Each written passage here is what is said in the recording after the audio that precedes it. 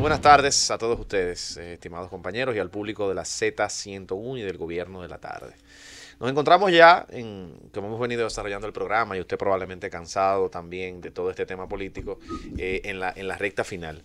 Y yo quiero hacer una pequeña reflexión hoy, eh, partiendo de una conversación que sostuve ayer con, con un amigo no vinculado a ningún partido político, un simple dominicano como yo, que observa con preocupación y, ah, la, la, realidad de su país. Y quiero concluir también leyéndoles una pequeña reflexión que encontré en un medio escrito que me pareció impresionante hoy. Miren, el lunes, en, política, hay siempre un carácter fuertemente transaccional con las confrontaciones y coyuntural.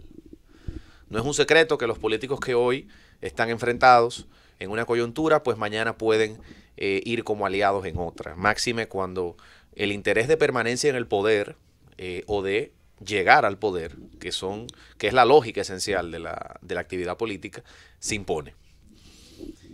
Sin embargo, de lo que va a ocurrir el domingo, a mí me luce que en el Partido Revolucionario Moderno eh, la tendencia es clara de que hay uno de los dos eh, candidatos, en este caso Luis Abinader, que aparenta ser eh, el, el, ganador de esos, de esos comicios. Pero sin embargo, en el Partido de la Liberación Dominicana, donde pareciera indicar eh, los movimientos que vemos en los últimos días, que uno de los dos candidatos, Leonel Fernández, frente a Gonzalo Castillo, tiene una probabilidad de ganar. También Gonzalo Castillo, con todo el aparato estatal, tiene una probabilidad alta de ganar. Hicieron, de hecho, hicimos una encuesta aquí sin ningún valor científico y vimos cómo se encuentran cercanos ambos.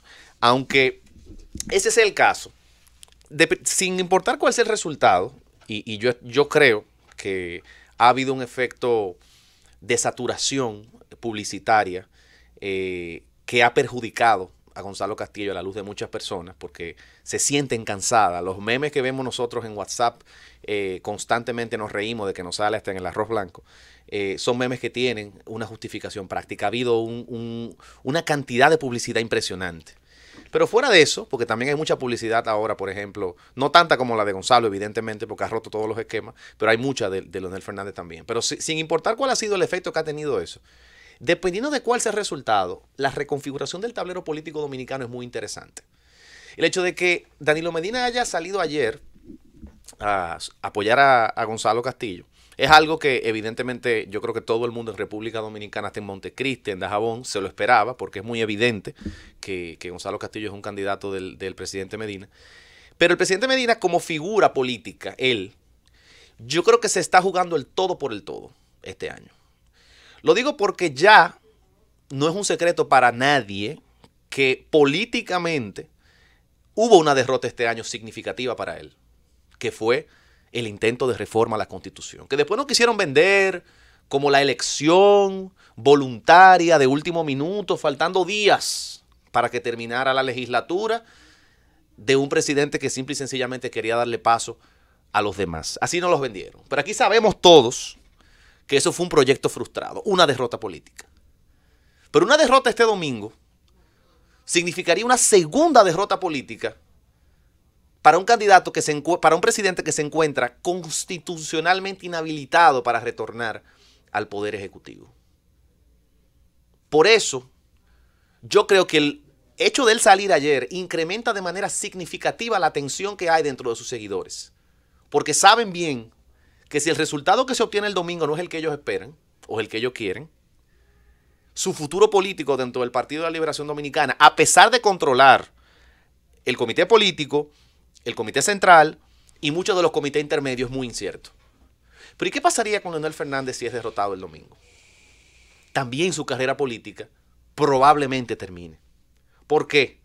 Porque está haciendo un esfuerzo del todo por el todo de jugarse todo el legado político que ha tenido, tres victorias presidenciales dentro de ese partido, apostándolo todo a un proceso de primarias en contra de un candidato elegido a dedo por el presidente Medina, porque las encuestas también, que a nadie le quepan duda que fue una forma de intentar justificar lo que ya muchas personas sabían.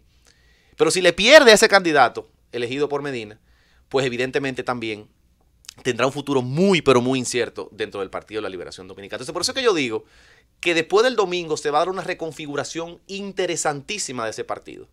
Porque o se da la revolución del que logró, a pesar de tener los organismos de dirección, en este caso el Comité Político y el Comité Central en contra, imponerse, o el que ya los controla se impone e intenta simple y sencillamente sacar del escenario político a su adversario. Esas son las dos posibilidades que pueden darse este domingo en esas elecciones del Partido de la Liberación Dominicana. Y es por eso que la tensión que hay en ambos bandos es una tensión tan elevada. Y es por eso que es tanta la cobertura que se le da a este tema.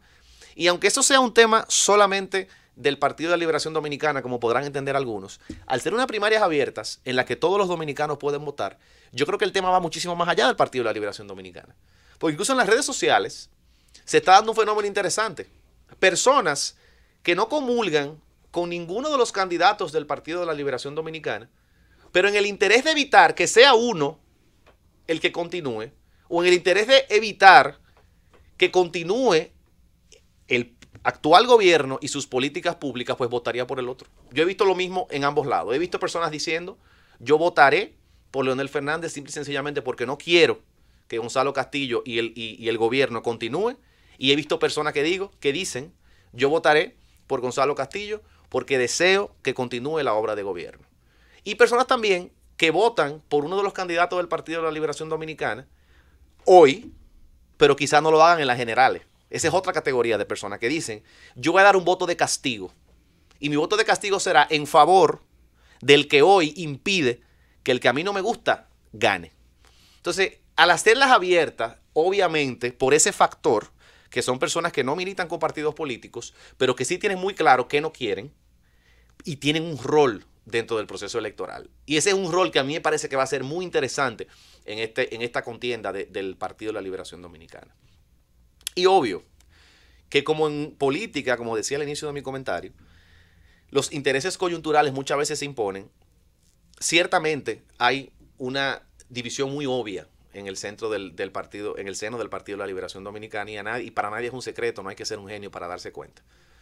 Ahora, como se ha dicho aquí, eh, han dicho incluso algunos precandidatos y hemos dicho en otro escenario, a mí me parece que al final de la jornada como en política, el objetivo último siempre es obtener el poder o mantenerlo, probablemente el interés pragmático se imponga a la efervescencia del momento. Y prepárense, prepárense para ver ustedes a esos que critican al bando opuesto dentro del Partido de la Liberación Dominicana de ambos lados, pero prepárense que esos que hoy critican al bando opuesto constantemente en los medios ya verán ustedes el 8 o el 9 de octubre cómo moderarán el discurso. No puedo irme sin leerles el editorial de un periódico de circulación nacional de hoy. Valiente. Valiente porque tiene la osadía de manera incisiva de decirle la verdad al poder. Y decirle la verdad al poder siempre es difícil. No solamente en República Dominicana, en todos lados. Quizá en República Dominicana especialmente por la influencia que tiene el Estado en el funcionamiento de la cosa pública, incluso de los medios. Pero le voy a leer este editorial. Dice así. Reelección sin, reelección sin reelección. La condición desigual de la lucha electoral de primarias con el protagonismo de un aspirante que a la sombra y hasta desde el mismo poder superen disponibilidad y gasto de recursos a competidores, expone una realidad negadora de la democracia, que no puede ser tal si solo vale porque permite el ejercicio de votar. Hay un candidato oficialista que se promueve como prolongación en el tiempo del presente ejercicio de gobierno. El aprovechamiento ilegítimo de las ventajas que devienen de actuar desde el Estado que inútilmente se ha querido desterrar en este país, ocurre esta vez al mismo estilo de cuando se ha buscado la reelección sin cambiar de jinete ni de caballo. Además de la avalancha publicitaria abrumadora del proyecto de la tendencia peledeísta que domina casi por completo el Estado, la promoción directa del aspirante ha coincidido con una arrolladora campaña institucional, entre comillas, mayormente electrónica, para encumbrar las obras de los últimos dos cuatrenios que deja en notable pequeñez a los rivales. un gigantismo pagado mayormente por los contribuyentes, que logra supremacía para calar en los votantes con una oferta electoral apadrinada y dirigida por nutridos entes gubernamentales y asociados que en sus efectos fue lanzada para apoyar en paralelo la exaltación del competidor presidencial del sello oficial. Algo que tiende a pesar demasiado en esta justa es el dinero. Francis.